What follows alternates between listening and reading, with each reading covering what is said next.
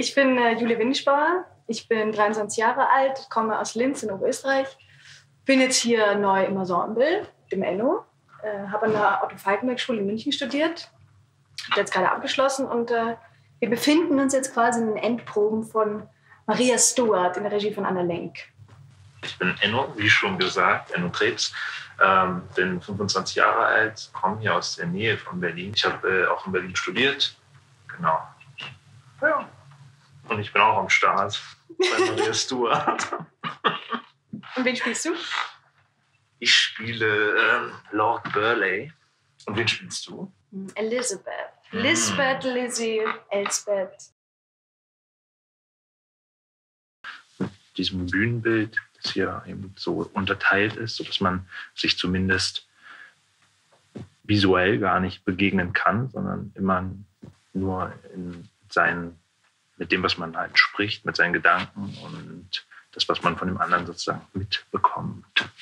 Ja, und dadurch, dass eben quasi jeder und jeder ihren seinen eigenen Raum hat und man sich nicht sieht, ist man auch irgendwie noch viel mehr darauf angewiesen, genau zuzuhören und mhm. genau ähm, auch durch die Wände hindurch. Klingt doof, aber das wie zu fühlen, wie geht die andere Person oder wie fühlt äh, der Kollege, die Kollegin gerade diese Pause und so und sich darauf irgendwie einzustellen und darauf einzugehen. Das ist wahrscheinlich die Kür, dass so eine Art von ähm, Synchronität entsteht, beziehungsweise in einem Zusammenspiel, das eben nur von diesen Impulsen und von so einer Wahrnehmung der Situation gelenkt ist und nicht so sehr von dem, wirklich dem, was man da sieht, sondern nur von ja, einer Gemeinschaft in, dem, in dieser Szene und in, der, in dem Konflikt. Ja, und auch apropos Konflikt, ähm, das ja, weil ja das Stück total aufgeladen ist, dass Elisabeth und Maria wahnsinnig, also Maria als Protagonistin, Elisabeth als Antagonistin, die Böse, die, die, hm.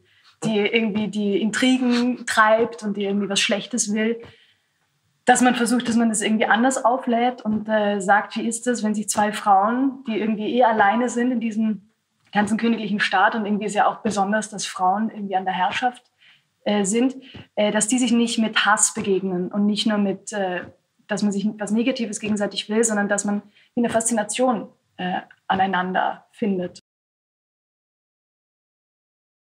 Dass wir uns ja nicht sehen und quasi nur hören und ähm, dass ja da durch, dass man auch, also wir auch neu im Ensemble sind und die KollegInnen vielleicht auch noch nicht kennen als SpielerInnen, wie die, was die so für ein Repertoire haben oder was für Spielarten die anwenden, dass man sich da so drauf einlassen darf, wer welche Farbe damit reinbringt und man sich da so ein bisschen immer abgleichen kann, aha, ist es für mich jetzt diese exaltierte Spielart oder so oder ist es für mich was Psychologisches, ist es wie, wie man da irgendwie zueinander kommt. Wie, geht, wie geht's dir damit da?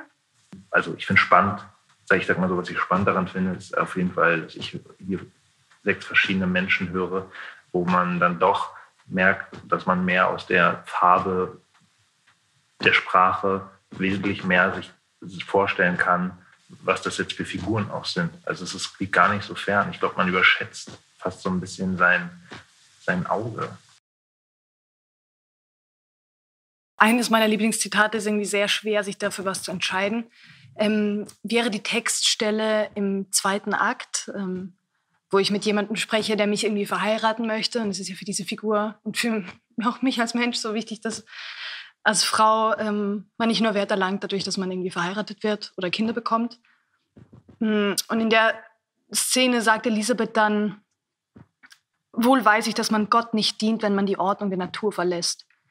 Doch eine Königin, die ihre Tage nicht ungenützt in müßiger Beschauung verbringt, die unverdrossen, unermüdet die schwerste aller Pflichten übt, die sollte von einem Naturzweck ausgenommen sein, der die eine Hälfte der Menschheit der anderen unterwürfig macht.